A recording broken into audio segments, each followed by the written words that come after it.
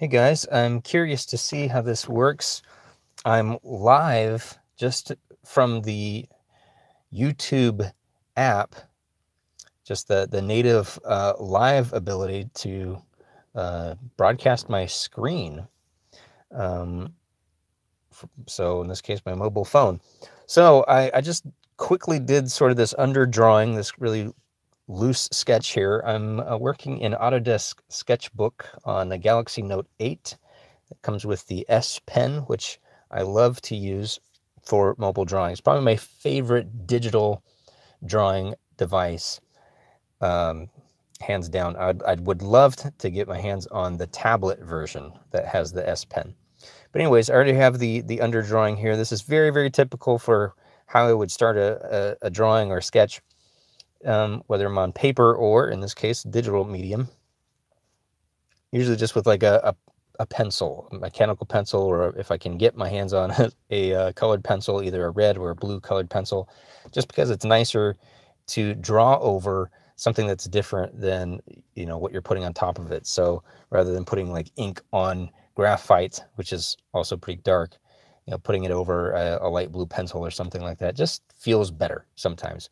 So what I like to do then is create a new layer. And then I like to use this inking pen here. And then I'll just go to my color palette here, go to black. And I'm just going to translate this very rough uh, gesture drawing here, this sketch. Um,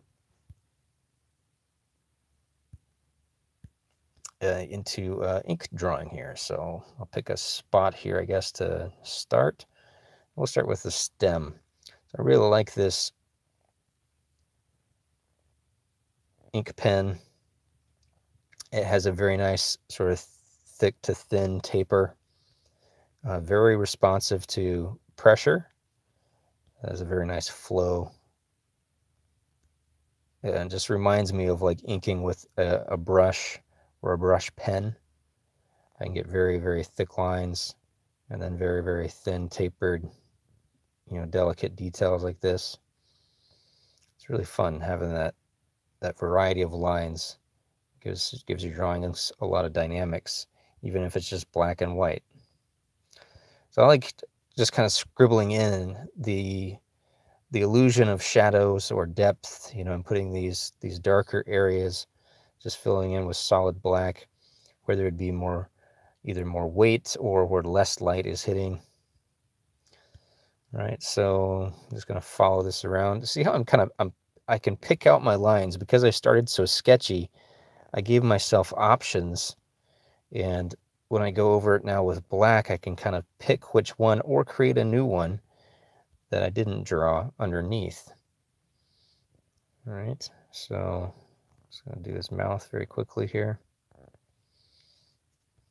I, I sort of like this perspective of uh, seeing the inside of his mouth, the thickness of the the pumpkin shell.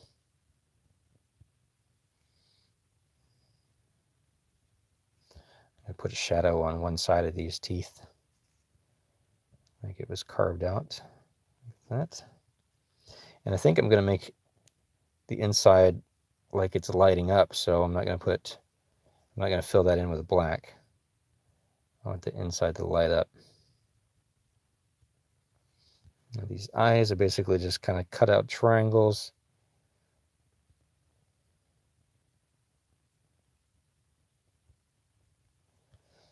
All right, now we'll follow some of this contour of the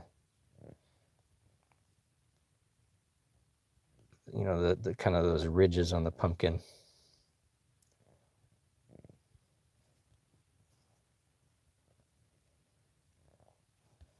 And create some horizontal lines to kind of help simulate texture for one, but also see how it helps with the illusion of contour as these curved lines sort of help indicate uh, how these the, those bulges on the the ridges of the pumpkin sort of wrap around each other. So I'm doing this for texture and for uh, helping with the illusion of contour. put a little bit more weight down here in the bottom. So I'm just kind of scribbling in black. This is much how I would draw in my sketchbook, my journals. Very loose and sketchy.